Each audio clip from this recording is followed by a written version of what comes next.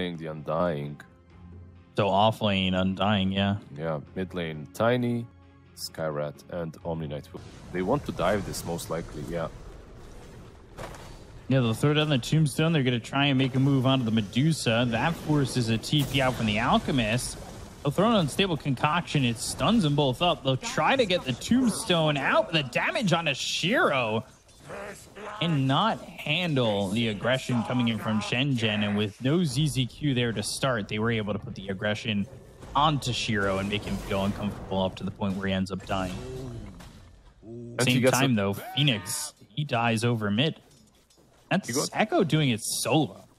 He got the solo kill, plus he forced. Looking at another decay, another concussive shot, but Here they're going to TP in the Bat Rider, so need to be careful now as they've got the stun on a Dome.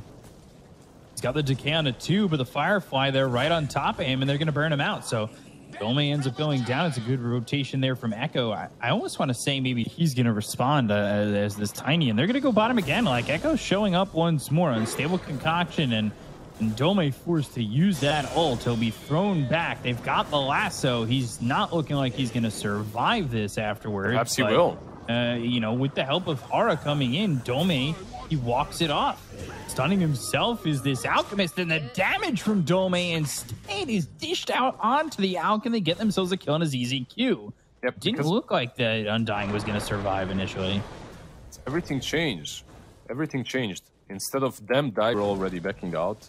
Omni Knight is just such a beast. He's doing Avalanche toss, easy kill on his ZZQ. Phoenix getting a kill.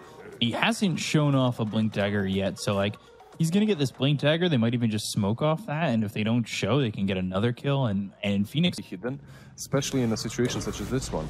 Like you're a tiny. Chrono just used Mystic Flare comes down, kill on a Zeal. Oh, oh. Sharpshooter almost have that blink. You know the Medusa's up there. They've got Faceless Void showing bottom. They're going to TP. They've got the lasso onto the Undying down bottom. And he'll throw down the Tombstone, but that's while Zeal dies up in the top lane. That's with that Blink Dagger, so they were able to get the kill on the Pangolier, which means the there's no lane. Rolling Thunder down bottom lane to do anything. And Dome's just going to stand his ground over by the tower. And I, I think home, oh, yeah, they, they take the wise choice and just retreat off this while we were watching uh, the top, bottom lane looked like way more that. fun. Dome. Man, Omni Knight is just changing the game completely. Like, Hara is literally breaking eHome and everything they want to be doing. Like, so far, they've they just haven't been able to accomplish much. Bat Rider isn't a hero, like, every completely.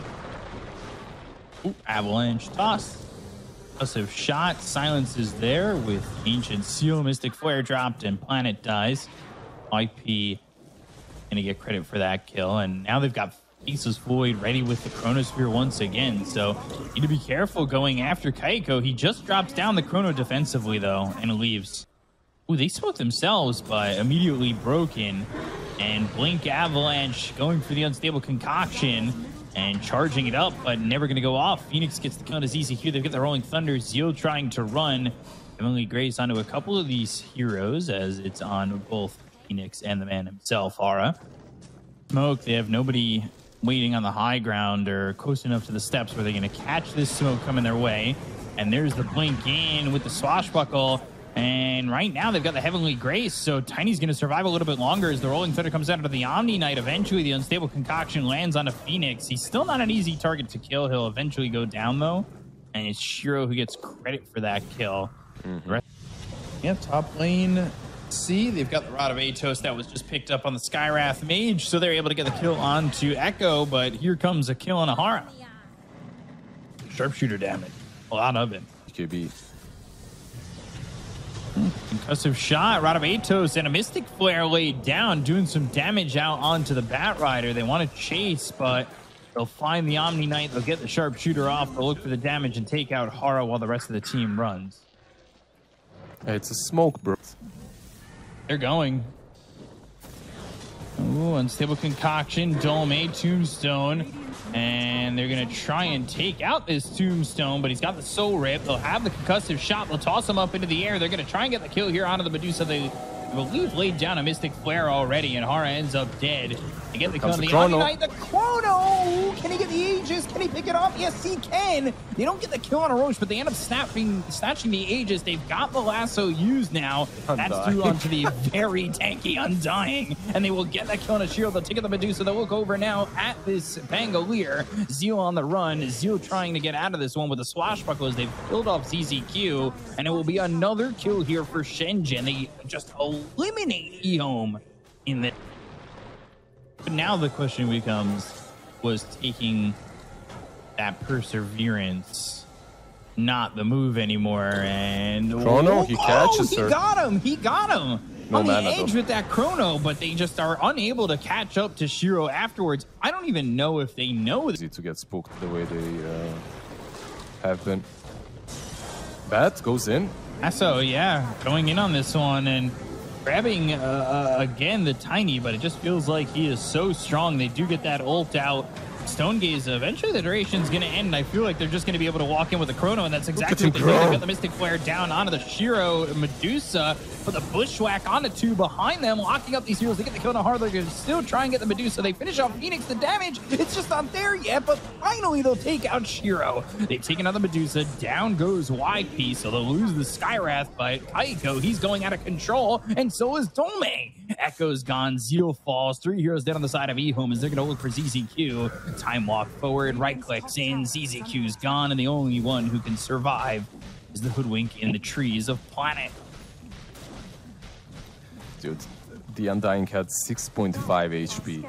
play it as precariously in my opinion Look at this, ZZQ.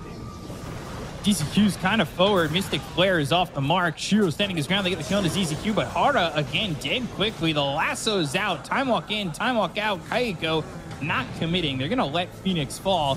They're going to let him buy back, and eventually they should be able to drop down the chrono if they need it. They got the stun. They have the sharpshooter. Time walk in, time walk back.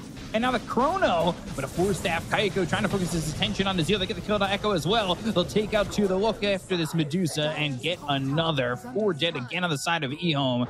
They cannot catch up to the Hoodwink again. But Pure, but he needs to be ready for movement here. is he ready? Undying's in, overwhelming blink. They're going to go with the BKB being Popeye Shiro. They immediately evacuate on this one, but again, they're going after the Undying. Undying is very tanky. Kaiko from behind. Rod of Atos is there. There's no BKB. The Chrono gets dropped. Mystic Flare on top of the Medusa. They have the silence with the Ancient Seal. Is he dead? Tiny's ready to go. They'll get the kill on the Shiro. He'll drop the Divine Rapier, but ooh, Echo picks it up. He's got the BKB. They're going to still try to right click and bash him down. That's exactly what they do. They get the Divine Rapier into the hands of this Faceless Void. And with that, Shenzhen have eliminated Ehome from TI qualifiers. And they are making a move onto the next round. This is exactly what we had, right? Like, um, this is what we thought might happen.